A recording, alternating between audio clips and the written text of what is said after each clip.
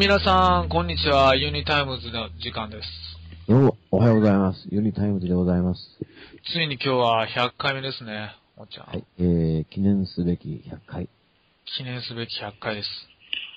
いやー、なんかでも、始めた頃から、100回を迎えるっていうのは全くイメージしてませんでしたけど。してなかったですね。もっと早く、ね僕らの役目は終わると思ってましたけどね。あー、まだまだですよね。そうですね。結局、だって、おっちゃんあれじゃないですか。あのーアセンションからもう40日ね、過ぎちゃったし。はいはい。そうでだからすね。、あの、多分、聞いてる、くれてる人の中にはね、あの、40日いつ来んねや、いつ来んねやと、もしかしたら、あの、えー期待して待ってた、まあ、期待か不安かわかんないけど、うんまあ、あの、待ってた人もいると思うんですよ。うん。ところが、もう過ぎてしまったと。うん、おい、何も起こらへんかったやないかって思ってる人って、うん、まあ、いるんじゃないかな、とは思うんですけどね。うんまあ一つには、一つにはというか、はっきり言えることは、ちょっと、延命作業が続いてるっていうのはありますね。うん。金融破綻もね、結局起こらなかったですしね。まあ、起こらなかったっていうふうな、まあ表現もあると思うんですけど。まあ、まあ、あの、その、予定通りっていうんですかね。はいはいはい。はい。そうですね。ただまあ着々と、それはその、進行してるっていう表現がいいのですかね。まあうん、そうですね。いつ起こっても本当はおかしくないんだけどっていうのも、あの、事実ですよね。ギリギリの状態がずっと続いてますよね。そうですね。うんまあ、だからそれがやっぱりその善と悪、まあ神とサタンとのね、いろんなやりとりの中で、そのバランス取りながら、こう、時は刻まれてるんだろうなっていうことだと思いますよ。うんそうなんでしょうけどね。なんか、その、目に見えるものがやっぱりどうしても何も起こらないから、やっぱり起こらんかったやないかと。やっぱり嘘だっていう人も中にはね、いるんじゃないかなと。まあその悲しいことですけど、目に見えるものだけが真実なわけじゃないですから、目に見えるものはもちろん真実が多いですけど、それだけじゃないと。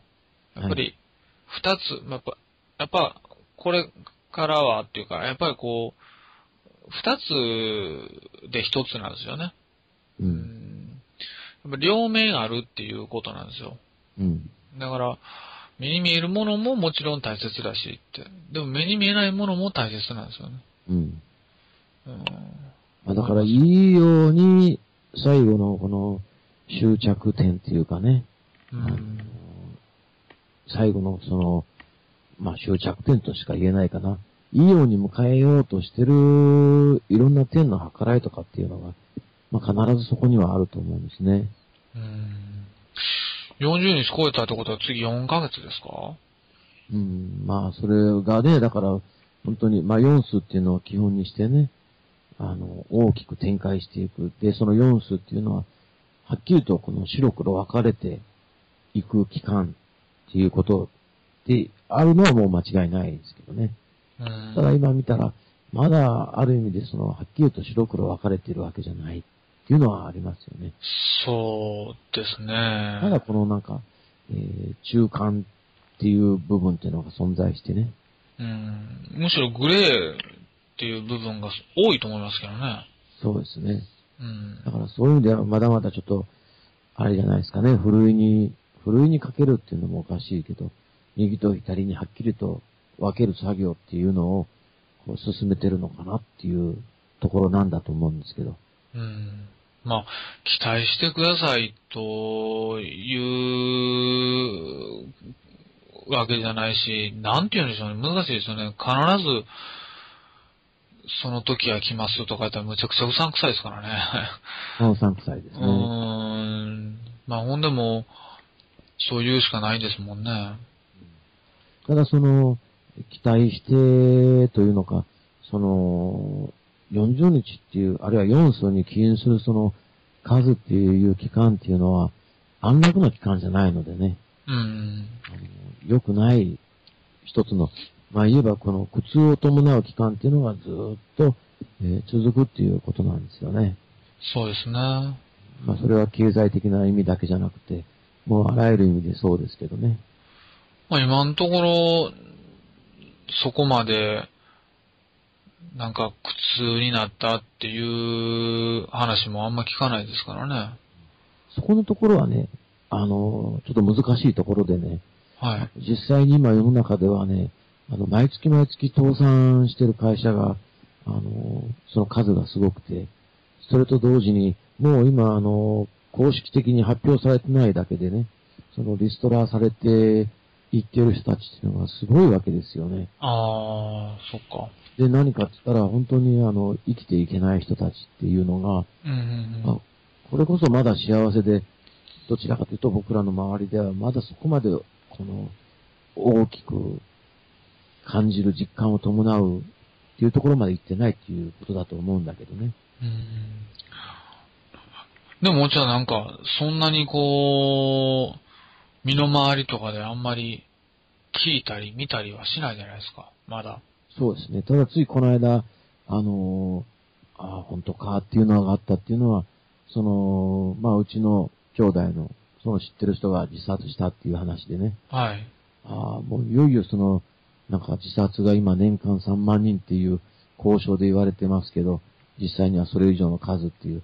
まあ聞いてたけども実感ってなかったんだけど、それがついこの間やっぱり、ああ、もうあの、知ってる人の関係の中でも、そういうこの生活苦とかいろんなことで自殺する人が出てきたんだなって、えー思ったらね、ああ、うんまあ、おこのひしひしとね、あの、近づいてきてるのかなっていうような、あまあそんなことは思いましたね。あ僕の同級生も何人か死んでますしね。ああ。まあ、そういう、まあだ大きな意味での苦痛、自分が苦痛じゃなかったとしても、こう全体、その自分以外の人を見ることが大事ってことですね。まあそれもあるだろうしね、本当に見えてないところでは、どんどん進んでて、まだまだ実は僕らの周りは本当に、あの、幸せなエリアに属してるのかなっていうとこかなと思いますね。うんうんうんただ、でも現実はもっと悲惨になってきてる人たちが増えてるのは、もう間違いないはずなんですよね。そうですねだ。ってあの、リストラされてる人が、もう何千人、何万人で出てるのが事実だっていうことと、実際に倒産してる会社の数っていうのは本当に、あの、すごいんですよね。これも統計とかで出てるから、調べたらすぐ、あの、ネットなんかでね、あの、わかるんだけど。うん。まあ、そその人たちにとっては、今がまさに、その40日、4ヶ月、4年かなんかわかんないですけど、その4数の真っ只中なわけですからね。そうですよね。で、それから、あの、実際に、まあ、経済っていう側面だけで、あの、言うならば、まだまだ絶対良くならないですからね。うん。これからますます、あの、厳しくなっていく中でね。で、やっぱり、その、生きていけない人たちっていうのか、特に言われてるのが、その、住宅ローンを組んでる人たちとかもね、あの働き口を失って、住宅ローンの返済もできないとか、ね。で、まあ、家族がいて、子供がいてってなってきたときに、ますます、本当にもう大変みたいですよね。っていうか、じゃあ、これから経済良くなることってあるんですか？いや、まだないですよね。ないでしょうん。だからその、いわゆる一つの、まあ、4数っていうのを起点にして、それが終わるまでっていうのは絶対ありえないですよね。そうですよね。で、特にあの、今のこの資本主義っていうシステムが、あの、再生しましたっていうような感じでね、あの、大丈夫です。資本主義まだまだいきますっていうことには、もちろん当然ならないですからね。うんうんうんだからやっぱりそのね、あのー境界線になる部分、分岐点になる部分っていうところで、もう最後、一番最後の、まあ、ところにまで行き着くんだろうなっていうことですよね。うん。うん。いやー。これは、日本だけじゃないですよね。あの、世界を見ても、そういったことがやっぱり実際起こってるしね。そうですよね。なんかあんまり、いい動きとは呼べないような動きですよね。最近の世界の動きは。特にあの、まあニュースでは、特に報道意図的にしないですからね、そういうのは今ね。うん経済は良くなってるとやっぱり言わないといけないし、うん。あるいはその横ばい状態だって言わないといけないしね。それがもし現実起こっていることが連日連夜ニュースで報道されたら、もっとみんなの思考っていうのが悲壮になってくるしね。そうでしょうね。まあ、ほんでも、実感してないでしょうからね。横ばいやとか、良くなってきてるって言われたとしても、うん。実感できないじゃないですか。うん。だから、嘘やって思うでしょうね。うん、まあ、嘘やって思えてる人が、まあ、どれだけいるのかっていうのも難しいですけどね。ああ、そうか。結局、テレビ、テレビに毒されてるので、テレビというかね、メディアに、マスコミにね。だから、テレビでそういうふうなこと言ってたら、ああ、そうなんだ、とかね。で、結構いいニュースするじゃないですか。ビジネスチャンスだってね。あの、今こういうビジネスが、あの、なんか、みんなから注目されてます、みたいな感じで、あの、うまくいってます、みたいな報道を、やっぱり、ね、このタイミングよくするのでね。うん、なんか、懲りひんな思いながら見てますけどね。いやそういうふうに見てる人はいいんですけどね。もうそのまま、ああ、そうなんだってやっぱ思っちゃいますよね。うん、いや、手を変え品を変えやってくるけど、でもあれ、ほとんど手口が一緒じゃないですか。一緒ですね。でもその手口だとか、うんぬんって、あのー見て、そういうふうに見てる人っていうのも、あのーいないというか、そういうような人はもう大体見なくなってくるのでね。まあ、そうですね。うちにテレビ自体がないですからね。おすごいですね。なるほど。いや、まあまあ、それも含めてね、あの、前から話したかったやっぱり TPP っていうのは本当にその一つだっていうことだと言える、あの、思うんですよ。TPP ですか？TPP っていうのもね、まあ、TPP だけじゃないですけどね。言われてますね。なんか参加交渉を政府がするって言ってんのに、ニュースでは、しなんかそんな可能性はないとかって出てるじゃないですか。ああ、そうか。ニュースはあまりちょっとみ本当最近見てないから。だから、なんかね、あの、安倍さんが、あの、交渉の意思を固めたとかっていうね、決意をなんか表したかなんか表明したかなんかっていうニュースを見て、うん。で、ああ、参加するんやなーって思ってたら、うん。なんかいろんな批評家とかね、うん。あの、そういう人たちが書いてるわけですよ。うんありえないとかね。うん。それはできないとか。うん。うん書いてるわけですよ。いや、できない、ありえないじゃなくて、やるって言ってんのに、この人が。トップがやるって言ってるのに、できひんとかって、なんでできひんねやろうなって、ちょっと興味深い記事なんですけどね。そういう人の記事は。まあ意外と御用学者だったりしてね。うーん、どうなんでしょうね。なんか、金もらって、そういうふうに言わされてるとかね。いやー、まあ、偏見かもわかんないですけど、あの、ああいう僕批評する人たちっていうのは、とにかく、あの、世論の反対を言ううんうん。気配、あのーあるじゃないですか。うん。でないと、あのーっていうか、それがまあ、商売みたいなもんですからね。まあ、そうなんですよね。うん。だから、だから、だからダメだからね。そう、もし周りみんな TPP 賛成とかって言ってたら、多分あの人らは反対するやろうし、うん反対言うとったら賛成するやろうし、なんかね、あのーよく、よくわからんのですわ。だから、そういった意味では、ほんまにこの人ら、考えてんのかなって、疑ってしまうような時もありますよ。まあでも、とにかく反対するのが批評家ですからね。まあそうですね。とにかく、かく反対、反対ですよね。はいだから、自分の意見じゃなくて、今何がこうね、表に出てるのか。それを批判しないといけない。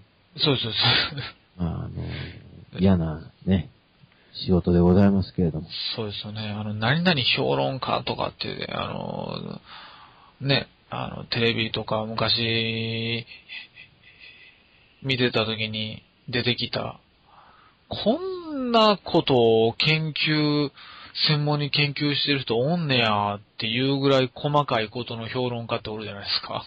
あはいはい。何々先生とかね。はいこの人ら、こういうことがなかったら普段何してんねやろうと思うね。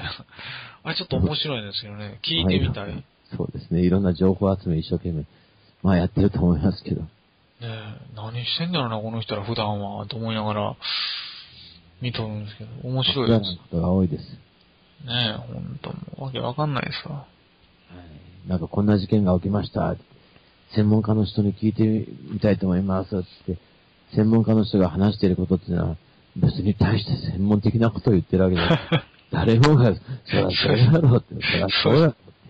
そうですね。それしか言わないじゃない。ただ肩書きが専門家で、その人がまあ代表意見を言ってるみたいな感じで。そんな感じですね。あとあのーなんか、いろんな本とかから引用してきて、その引用する元記事を僕らは知らないわけだから、おーこの人はすごいなーって思うけど、元記事知ってる人からしたら、え、こんな、何々さんが言ってたことと同じやんってなるじゃないですか。うんうんうん。うん。そうですね。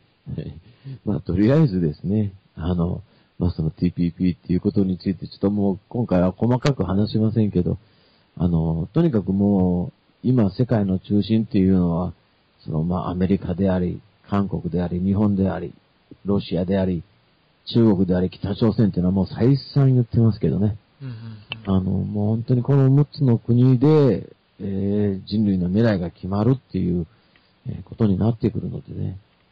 まあこの動向を本当によく見ていかないといけないし、で、日本とアメリカがね、孤立してしまうっていうか分断されることは良くないし、えーもちろん韓国ともそうですしね。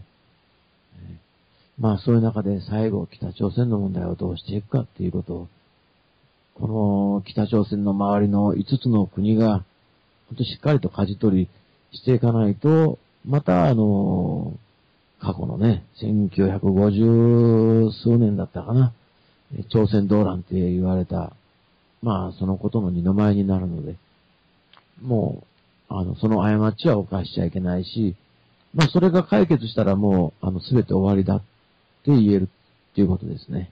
うん。もうそこが最後ですね、歴史の最後。あもうあとは何も大きな問題はないですね。あ、そうか。うまいこと解決してほしいですけどね。まあでも本当に今、その6つの国が、あのすべてのもう、いろんな問題の中心になっているのを見ても本当不思議だなって、まあ当たり前なんですけど、まあ歴史ってやっぱり不思議だなと思いますね。うん。まあさこれもやっぱり再三言ってるけど、ロシアね、あの、プーチン、プーチンの動きっていうのも本当に、あの、面白くなってきますよ。うんうんうん。第三次世界大戦の国ですからね、ロシア、そうです。中国、北朝鮮、バーサス、アメリカ、日本、韓国でしたっけ？そうですね。はい。で、もちろんこれは、あの、戦争しちゃったらダメなんですけどね。うん。まあ、その武力戦争ってことですよね。はいはい。武力戦争をしちゃいけないっていうね。えー、結局は、あの、6カ国協議って言われてるような感じで、えー一つのね、えー会議場かどっかで頭をね、続き合いながら、人類の未来をどうしていくのか、この北と南の問題をね、北朝鮮と、えー韓国の問題をどうしていくのか。それから、イデオロギー、結局ここですね。はい共産主義の問題どうしていくのか。資本主義の問題どうしていくのか。まあ自由主義というかね。うんもう、これを、まあ解決していく方向に、もう行くしかないですけど、まあかなり進んではいますけどね。ねえ、なんかもう、見えないところで。そんな簡単なことっていうふうに思ってしまいますけどね、普通の一般人からすると。うんうんでも、欲と権力にまみれた人は、また違うんですかね。うんまあ、ただ、あの、これも過去に言ったかもしれないですけど、その、まあ、権力に、あの、紛れてる人たちっていうのを、結局は金とかそういったものでね、あの、喜びを得れる、幸せになれるって思っていたはずなんですけども、もうそういう生活をずーっとこうしてきて、もう、どんどんどんどん今気づいてきてるんですよね。あの、寂しさであるとかね、うん虚しさであるとかね。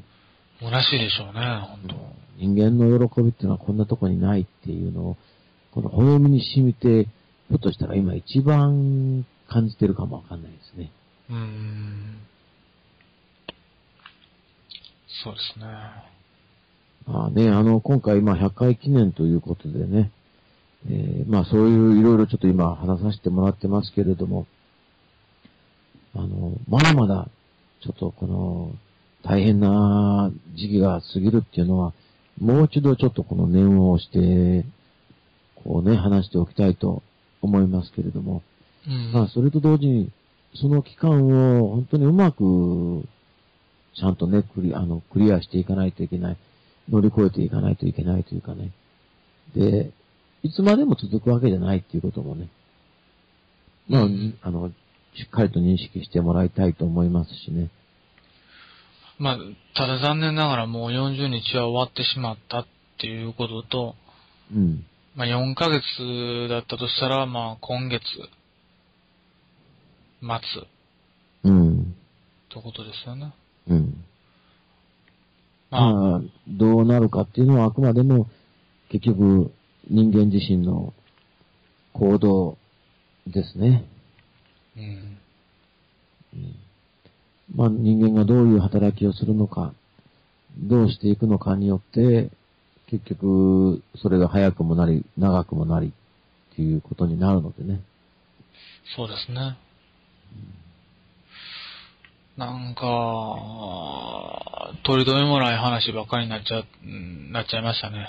そうですね。なんかなっちゃいましたね。まあ、でも、こう、100回目ということで、こうね、こう、原点にまた戻って、まあ、結構話したい放題話そうか、みたいなね。そうですね。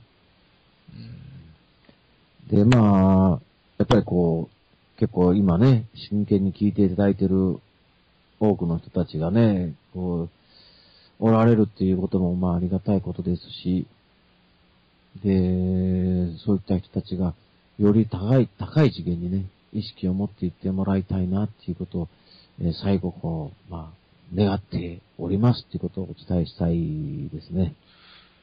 そうですね。はいもう、その、なんだろう。ずっと聞いてくれてる人はね、やっぱりこういろんなことを自分で考えてくれてるんじゃないかなとは思うんですよ。ほんま、ね、ほんで、まあ、そういや、お茶またね、あの、お、お返事もね、せなあかんなとは思いつつも、ああの、まあ、それもね、ちゃんとやっていくんで、まあ、ご安心ください。まだいくつかは確か残ってましたね。そうですね。まあ、まだどんどんどんどん、こう、増えてくるんでね。はい。うん。まあ、その辺は、また、あの、おいおいちゃんと返していくんで。まあ、とにかく、あのーまだまだ、こう、続けていくつもりでいますので、あのーまだ終わりじゃないです。そうですね。それとあの、地球村プロジェクトというのか、建設プロジェクトというのか、まあそれに関しても今後、またあの、進展状況であるとかですね、あるいは、まさしくそのスタッフ募集みたいな形でね、えー皆さんに声をかけさせていただきたいと思ってますので、うん。あのーどんどんお電話いただけるとありがたいと思います。まあ、おっちゃんからは今日、まあ以上かなと思います。そうですね。いや、僕も、あのーそんなに、あの、まあなんか今日はね、あの、久しぶりにおっちゃんと、こう、フリートークみたいな感じでしたけど、特にテーマを決めずみたいなね。今日はね、えーちょっとテンションも穏やかに活かしていただきました。まあそうですね、こう、いろいろね、こう、話したいことまだまだいっぱいあって、こう、全然話せてないなぁとは思いつつも、やっぱり、こう、まあ、ちょびちょび、こう、か、かじってね、こういうことも、こういうことも言いたいし、こういうことも言いたいし、これもこうで、ああでこうでって、いっぱい言っていったら、実は、これは全部根底では一つに繋がってる。ことなんだっていうことも、あの、ユニタイムズ聞いてくれてる人は、およそもう分かってくれてるんじゃないかなと思うんですけどね。はいはい。まあ、それと、あの、多分、霊界からね、間もなくそのゴーサインが出るので、もう思い切って全部言っちゃっていいよ、みたいな感じのね。まあ、その時にはね、もう台風。そうですね。まあ、ほんま、その時が来たらね、あの、ルシファーも、マーラも、なんか、イエスさんもブッダも、みんな、みんなで一緒に鍋しましょうっていうね。うん。ほんま、そういう時が早く来ればいいですね。そうですね。はい。わかりました。じゃあ、今日はね、あの、ちょっと長くなりましたけど、まあ、100回目ということで、あの、ちょっと皆さん許してください。はい。はい。じゃあ、今日はこの辺でね、終わりたいと思います。おっちゃん大丈夫ですか？はい、OK でございます。何か言い残したこととかはないですか？えー、遺言はもうしばらくしてますかはい。まあ、あの、言い残したことあったとしても、また次回ということで。はい。はい。じゃあ、また皆さん次回聞いてください。それじゃあ、皆さん、さよなら。はい、どうも、さよなら。